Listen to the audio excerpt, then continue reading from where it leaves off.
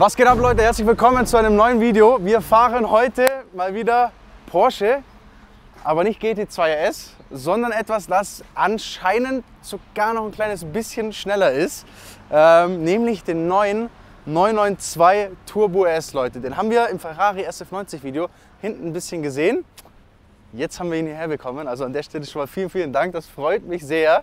Das ist schon mal mega. Ich bin gestern noch den GT3 gefahren. Also jetzt ist gerade wirklich komplettes äh, Porsche-Feeling ist auf jeden Fall da und ist, glaube ich, perfekt, weil da hat man echt ein Verständnis dafür, wie es sich anfühlt. Noch dazu bestes Wetter und wir haben auch noch das Cabriolet, muss man an der Stelle sagen. Ne? Also das wird schon mal sehr, sehr wild.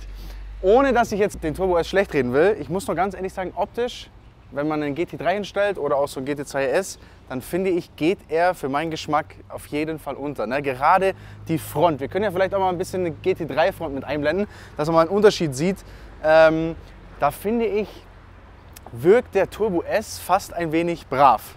Ne? Darf er ja auch, wollen ja viele auch beim Turbo S so, aber für meinen Geschmack dürfte es alles ein bisschen, ein bisschen frecher noch sein. Nichtsdestotrotz natürlich ein wunderschönes Auto, brauchen wir nicht drüber reden. Mega, mega nice. Von hinten muss ich sagen, äh, der Turbo S natürlich schon sehr, sehr gelungen. Ne? Einfach mega, mega schönes Auto. Ich mag ja eh den 992 total gerne. Ich mag auch das durchgezogene ähm, Licht am Heck äh, und natürlich die Abgasanlage, die der drin hat, die steht, schaut natürlich immer gut aus. Ne? Ist ja quasi ein bisschen analog auch von der Optik zu meinem GT2 RS. Also mir taugt das alles, schaut schön aus, macht richtig Laune. Äh, Porsche, wisst ihr selber, liebe ich sowieso, aber ich bin vor allem gespannt, wie der fährt, weil der soll ja wirklich schnell sein. Deswegen gar nicht so viel drum rumlabern, Leute. Äh, wir hauen euch jetzt noch ein paar Bilder rein und dann schauen wir mal, ob er wirklich so schnell ist, wie alle sagen. Viel Spaß.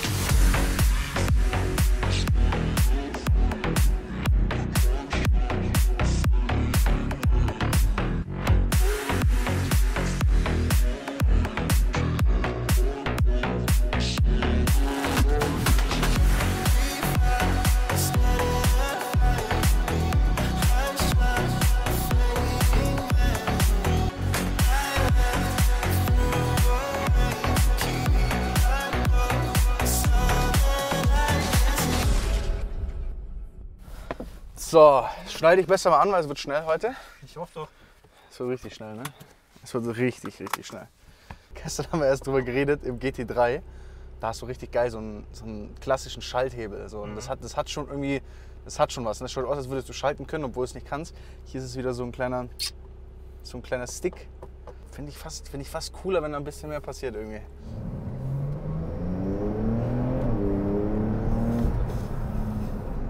Halbgas, Halbgas. Nur Halbgas. Mich, Junge, Junge. Was sehr markant ist, muss man wirklich immer sagen, wenn man. Ich bin jetzt echt bewusst heute Morgen mit dem GT2 S hierher gefahren, um, um so dieses Vergleichsgefühl zu haben. Und was so enorm ist, wie mit dem GT2 S, wenn du, wenn du fährst, es ist so bockehart, dass du immer das Gefühl hast, so, oh, du musst richtig aufpassen. So, das ist so ein das ist ein Auto, das gehört auf die Rennstrecke. Und der hier im Gegensatz ist butterweich. Der fühlt sich richtig smooth an. Das ist einfach ein Auto, den machst du an, der ist nicht so übertrieben laut, fährst irgendwie geschmeidig aus der Einfahrt raus. Also den kann man richtig so daily fahren, so ein Turbo S. Das merkt man auch als, als äh, Beifahrer, mega. Ich bin Ja. einmal bei dir mitgefahren im GT2 S. Das Ja, war- ist schon anders, hart, ne? Einfach nur hart. Ja, das stimmt. So, jetzt machen wir auf jeden Fall mal von Normal. Er hat ja verschiedene Sportmodis. Ah, kennst du? Kennzeichen ist abgedeckt. Scheiße. Hoppala. Das sind wir wohl. Ja, alles gut, alles perfekt. Schau. Ich dachte schon, warum die uns alle so anschauen. Kennzeichen abgedeckt, das ist auch ist so ein Klassiker. Erstmal geblitzt werden. Das ist ein Klassiker. Ey. Okay. So, pass mal auf. Wet, normal. Ja, wet, jetzt sind wir ein bisschen wet, jetzt du bist ein bisschen wet geworden. So, machen wir Sport Plus rein, ne? Spoiler ausgefahren. Und dann.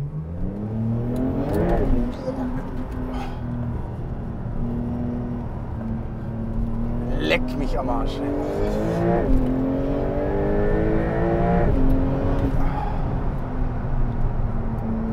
Ja, das ist schnell. Das ist schnell. Da wären die Kennzeichen mit Sicherheit auch so weggeflogen jetzt.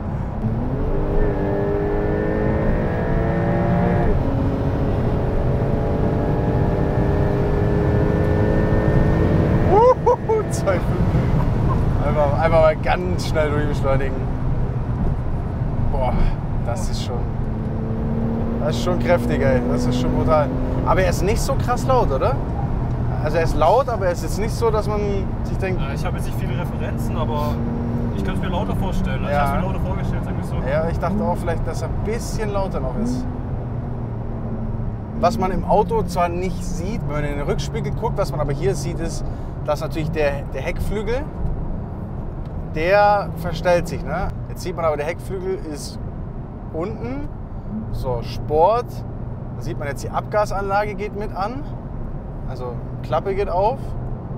So, und jetzt Sport Plus.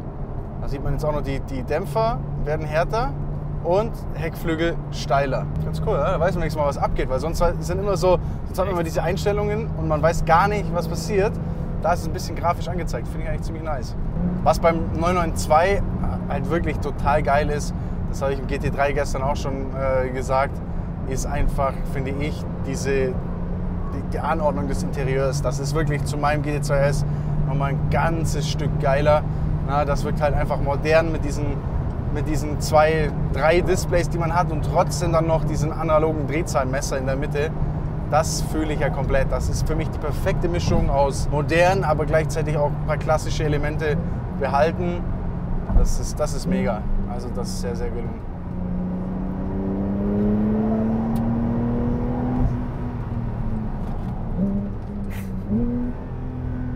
So. Boah.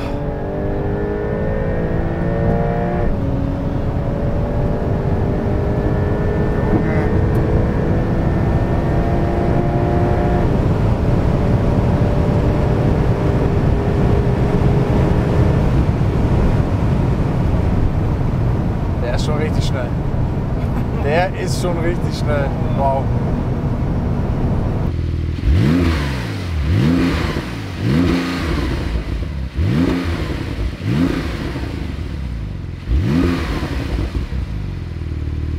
Mach möchte es mir mal anhören.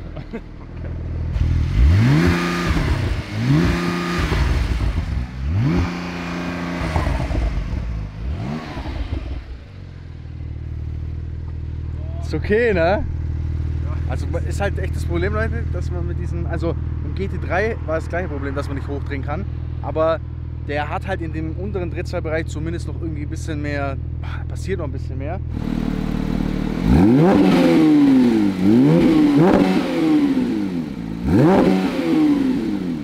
Bei dem, da ist, bei dem Turbomotoren, da passiert nicht so viel. Ne? Also ist nicht sehr laut leider, Aber ist schnell. aber es ist schnell. Ja. Wie schnell? Das finden wir jetzt erstmal raus.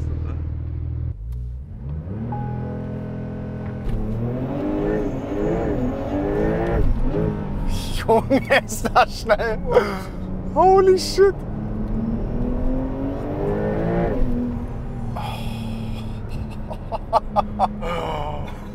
Oh mein Gott. Okay, die Launch ist ja krank. Boah. Ja, okay, okay. Das hat alles wieder gut gemacht. Ja, ah ja, voll, ohne Scheiß. Egal, scheiß auf den Sound. Hauptsache das Ding schiebt.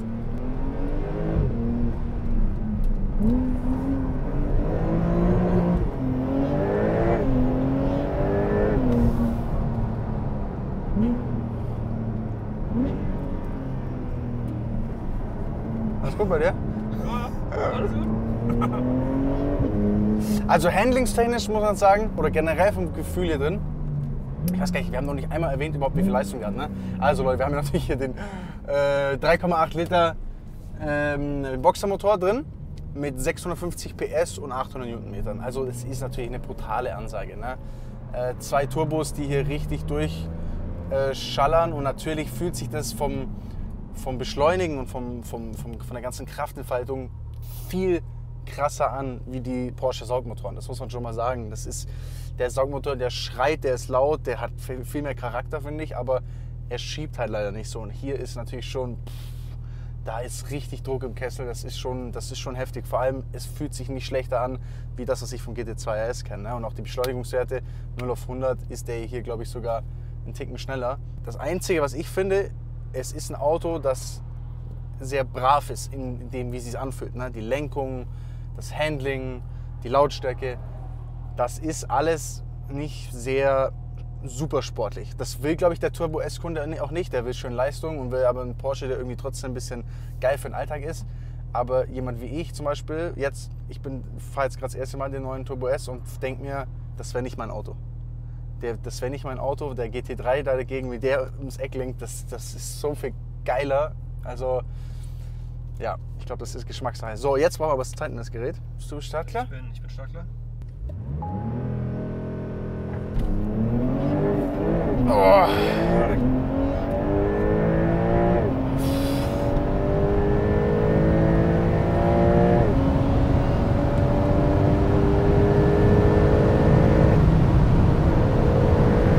Junge, Junge, Junge.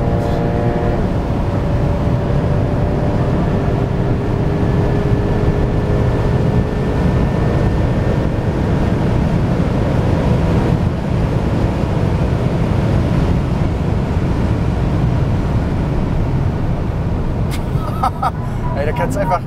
Du fährst, wir, sind, wir fahren 325 und es fühlt sich so smooth an. Ne? Du könntest so easy weiterfahren. Aber wir müssen wir müssen auch nicht übertreiben. So, 0 auf 100 2,98 steht hier.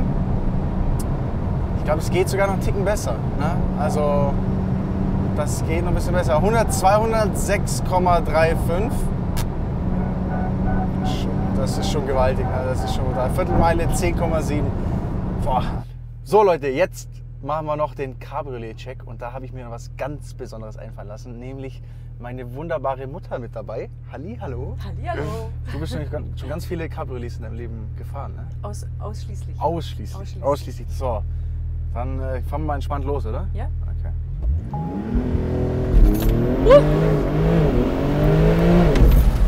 Okay. Upsi, Hoppala! upsi. Wo war die Brille weg? Bist du da? Ja. Ja. Okay. Kann man machen, muss man aber nicht. Ja. Ah, muss man schon, ne? Ja, doch. Schon, schnell- schon schnell. Heiland. Ha? Ordentlich, oder? Ja, doch. So, wie ist jetzt, jetzt äh, die Cabriolet-Bewertung? Also findest du, man sitzt hier gut drin? Wie ist, die, wie ist der Wind? Wie, wie, ist, wie ist die Geräuschkulisse? Also, ich meine, Geräuschkulisse darf ja ein Porsche sein. Genau. Soll ja auch. Und äh, hier in dem Cabriolet ist es nämlich super. Hier hat man wenig Windverwirbelung. Aha. Im Gegensatz zum Targa. Aha. Hat man mir gesagt. Aha, okay. Genau. Sehr gut. Und ja, doch entspanntes Fahren, offen bis 160 würde ich mal sagen, auf jeden Fall ganz Ja. easy. Danach macht nicht mehr Danach wird es ein bisschen ne? windiger, ja. Und die Beschleunigung, was, wie fandest du die? Äh, ich kann mich nicht mehr erinnern. Müssen wir vielleicht noch eine machen? nein, nein, war gut, war gut. Beschleunigung war super. Ja. Also, nee, Vielleicht, alles vielleicht eine halbe noch. Ja? eine halbe noch. Okay. Zurück dann jetzt, oder? ja.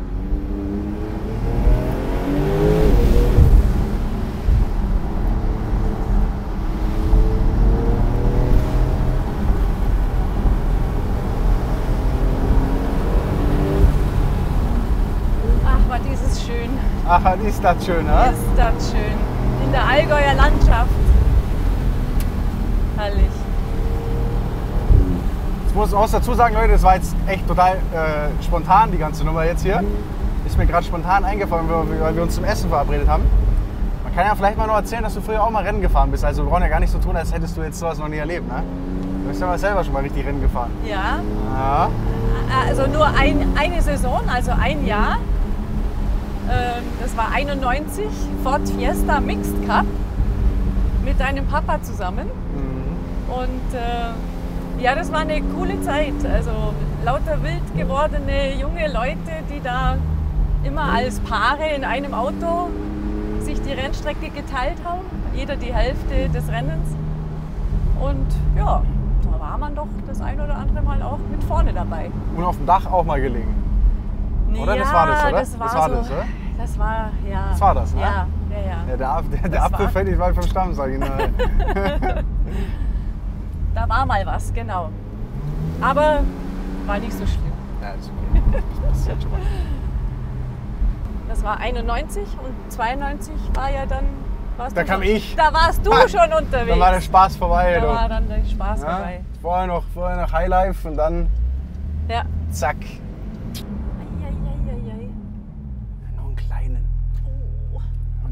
Entspannten. Eins, zwei, drei. Juhu! Jawohl! Yes! Ja? ah, schon gut, oder? Ja, geil.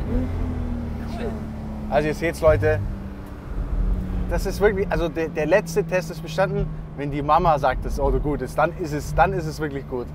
Na, ist gut, oder? Jawohl, jetzt darf ich auch meine Sonnenbrille wieder aufsetzen. Jetzt darfst du wieder aufzählen, ja. Ah, jetzt. Reicht's auch. Jetzt machen wir auch Schluss hier. Ähm, bringe dich heile nach Hause. Danke, danke, danke für die spontane, schnelle Zeit. So, Leute, das war's im Turbo S. Hoffe, hat euch gefallen. Also ich glaube, Fazit echt wunderschönes Auto, muss man ganz klar sagen. Ist verdammt schnell. Und wer was ein bisschen racigeres will, der sollte sich eher einen GT3 holen. Leute, danke fürs Zuschauen. Lasst gerne ein Like da. Haut rein. Ciao.